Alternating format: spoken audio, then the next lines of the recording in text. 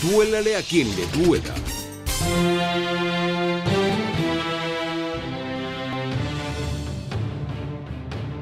Aún no sabemos a qué es lo que se ha referido el secretario de Defensa de Estados Unidos, Mike Pompeo, sobre el estudio de nuevas sanciones para presionar al régimen de Maduro, ni sabemos para qué se lo presionaría. Si para que renuncie, si para que realice elecciones libres y con plena observación internacional, para que se entregue por los denunciados vínculos con el narcotráfico y delitos financieros internacionales, no lo sabemos pero sí que nos damos cuenta de lo mucho que se preocupan el jefe de la dictadura y sus compinches en el poder por todos estos asuntos. Así como este martes acudirán cancilleres de cinco países latinoamericanos a la Corte Penal Internacional con el petitorio de investigación a Maduro y su gobierno por delitos de lesa humanidad, así mismo piensa el grupo de Maduro que está jugando en un idéntico tablero y se saca de la manga el fin de semana la captura de alias Morfeo, alias La Perrera y alias Corocoro. En medio de tantos alias y como quiera que el gobierno mantiene su estupor con lo que llama magnicidio perpetrado en grado de frustración, nosotros de abusadores seguramente también nos creemos con derecho a aspirar a la captura de los alias asesinos que mataron a cerca de 200 manifestantes que pedían cambio en las calles y los alias ladrones que acribillaron a la economía del país llevándonos a la ruindad más terrible y a esa crisis humanitaria de la cual los del gobierno no quieren que se hable porque se le ocurren cosas a Pompeo. Como canes de pelea, le tiran un mordisco a Chile, a México, de nuevo a Colombia y por supuesto a Estados Unidos con el cacareo del asesinato perpetrado en grado de frustración. Concepto merecedor de otro premio que se sumaría al Nobel de Economía para Maduro. Y pasan abiertamente a reconocer a los chinos que atracaron con su barco hospital en costas venezolanas y salieron primero a turistear como los hermanos mayores de la revolución bolivariana, mejor dicho, como los que Padrino le muestra a Pompeo, por cualquier cosa. Uno de los tantos casos por los que se ha pedido a la Corte Penal Internacional escrutar a Maduro y a otros jefes de su régimen fue el del acribillamiento del inspector Oscar Pérez junto a otros miembros de su equipo alzado contra la dictadura el pasado 15 de enero.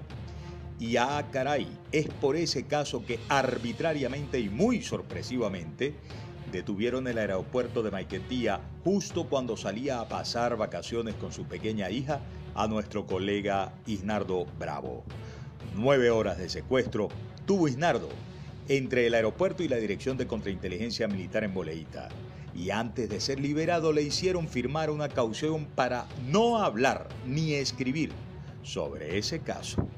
Lo de Isnardo viene luego de varios arrebatones y suspensiones de pasaportes a colegas periodistas, el presidio en el que mantienen al reportero Jesús Medina y supongo que tendrá franca relación con el odio que expresa a los periodistas el ministro de propaganda del régimen Jorge Rodríguez y sobre todo con el reconcomio del mismísimo Maduro luego que uno de esos periodistas libres, comprometidos, negados a jalarle mecate y a decidir por cuenta propia mejor lo que interesa y lo que no interesa, le preguntara por qué una sátira de unos bomberos en Mérida, sí, los que compararon al jefe del gobierno con un burro,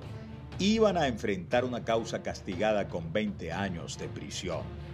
Repetimos que no sabemos a lo que se decidirán Donald Trump y Mike Pompeo respecto del gobierno de Venezuela, pero sí nos damos cuenta de que la dictadura llega a sus máximos esfuerzos por tratar de que nadie hable cosas contraproducentes y en eso, claro, los periodistas van a pagar los platos rotos. Esperemos que pueda ocurrir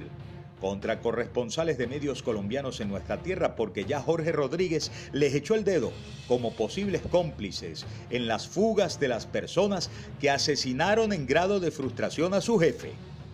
Lo cierto es que por más que se esfuercen en amedrentar, en golpear a la prensa, incluso en hacer el ridículo como eso del vengador Jorge Rodríguez diciendo este lunes que celebran como fruto del paquetazo de Maduro que ya se han equilibrado los salarios de los trabajadores y su capacidad adquisitiva, por más que se esfuercen, repito, La verdad los aplasta, se les sale de las manos, se desparrama y se sufre en toda Venezuela.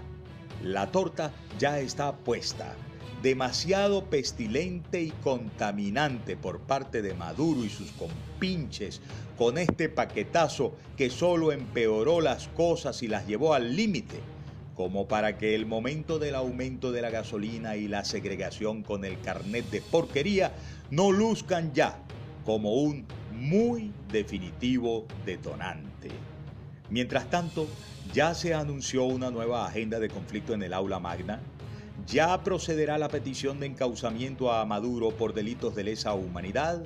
y ya vendrá lo que tenga que venir de la comunidad internacional que sabe que los gobiernos tienen derechos, pero que no pasan por aplastar a sus pueblos y que los pueblos tienen derecho al socorro y a la protección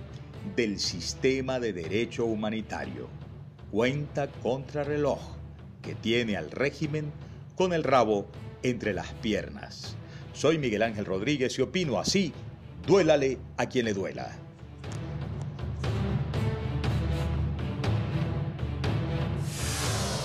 Duélale a quien le duela.